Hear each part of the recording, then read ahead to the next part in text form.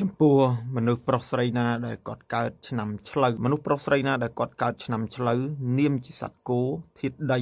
ទន្សាកំណើតថ្ងៃច័ន្ទសេរីសួស្ដីធ្លាក់មកពីមាត់ព្រះព្រំ ការមូលប្រលឹងនៅនឹងដើមថ្នោតដូចនេះណាក្រណាត់ប្រែពណ៌តាមថ្ងៃកំណើតនេះរកទៅរុំដណ្ដប់នៅលើដើមថ្នោតដែលជាសេរីមង្គលជោគជាតាជីវិតរបស់ខ្លួនមនុស្ស ដែលកើតឆ្នាំនេះរមែងជាមនុស្សមានគំនិតបញ្ញាឆ្លៀសវៃសំដីនិយាយមុះមុតមានគេគោរពកោតសរសើរច្រើនមនុស្សកើតឆ្នាំឆ្លូវនេះគឺជាមនុស្សដែលមានចិត្តបុណ្យកុសលចូលចិត្តជួយគេ មាននិស័យទន់ភ្លន់តែមិនសូវ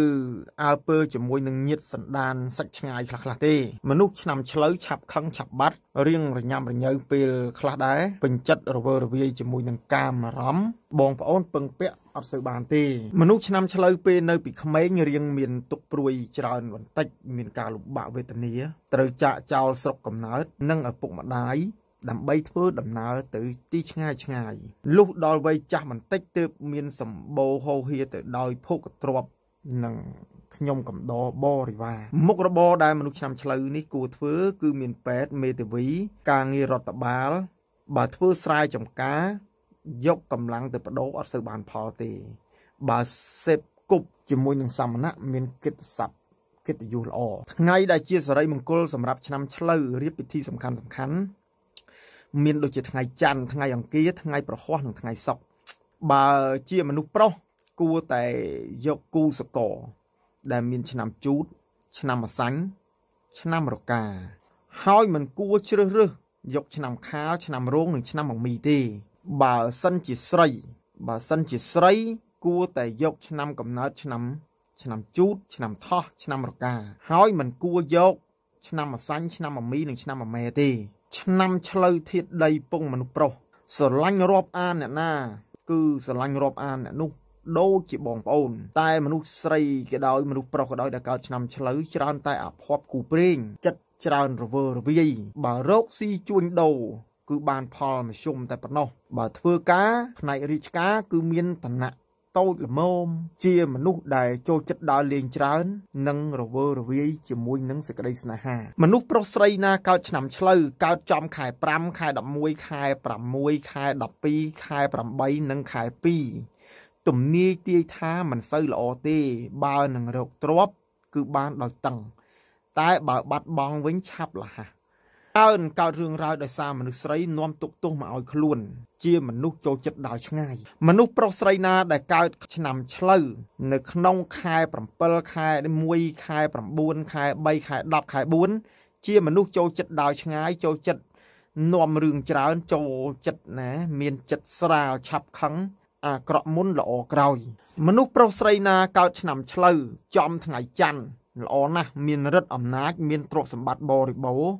មានវោហារុះរាយរាក់ទាក់មនុស្សប្រុសស្រីណាដែលកើតឆ្នាំឆ្លូវចំថ្ងៃអង្គារពុំសូវល្អឡើយមានចិត្តរឹងឆាប់ក្រៅក្រោតមនុស្សប្រុសស្រីណាដែលកើតឆ្នាំឆ្លូវចំថ្ងៃពុធគឺរកស៊ីបានដោយលំបាកមានគេនិយាយដើមច្រើន មនុស្សប្រុសស្រីណាដែលកើតឆ្នាំឆ្លូវចំថ្ងៃប្រហ័សមានគេស្រឡាញ់រាប់អានច្រើន មានលៀបហូរចូលច្រើន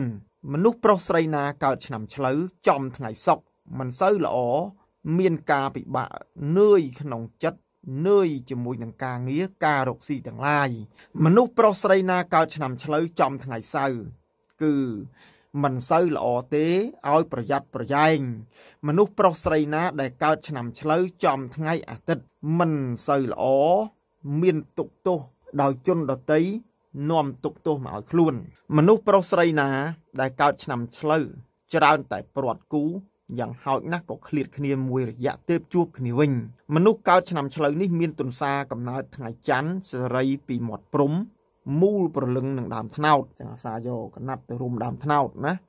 កណាត់ប្រែពណ៌ណាមនុស្សប្រុសស្រីណាកើតឆ្នាំឆ្លូវធ្វើដំណើរលឿនទៅណាមកណាដល់ភ្លាមភ្លាមមនុស្សប្រុសស្រីណាដែលកើតឆ្នាំឆ្លូវច្រើនតាបេដាហ្នឹងឪពុកហ្នឹងស្លាប់មុនម្ដាយភិកច្រើនណាមនុស្សប្រុសស្រីណាកើតឆ្នាំឆ្លូវច្រើនតែអ្នកចិត្តខាងឬអ្នកដតី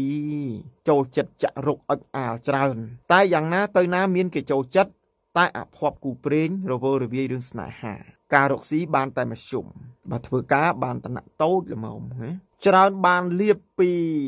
មនុស្សដែលមានវ័យច្រើនជាង កាន់ព្រះពុទ្ធសាសនានិងព្រហ្មញ្ញសាសនា មនុស្សប្រុសស្រីណាកើតឆ្នាំឆ្លូវពេលខ្លះជាមនុស្សឡើងចាង ការងាររៀងបោះបោកនិងរៀងខ្ជីខ្ជាបន្តិចតែធ្វើអ្វីធ្វើតទៅហើយមនុស្សប្រុសស្រីណាកើតឆ្នាំឆ្លូវកើតខែ5ខែ11ខែ6ខែ12ខែ8ខែ2 មិនសូវល្អទេរកស៊ីយ៉ាងតឹងរករកតឹងតែចាយលឿនចូលចិត្តដើរឆ្ងាយបើសិនជាមនុស្សប្រុសច្រើនមានទុកដោយមនុស្សស្រី មនុស្សប្រុសស្រីណាដែលកើតឆ្នាំឆ្លូវមានខែកំណើតខែ7ខែ1ខែ9ខែ3ខែ10ខែ4ចូលចិត្តដើរឆ្ងាយនាំរឿងច្រើនចិត្តនិងរៀងស្រាលឆាប់ខឹងតែអាក្រក់មុនល្អក្រោយ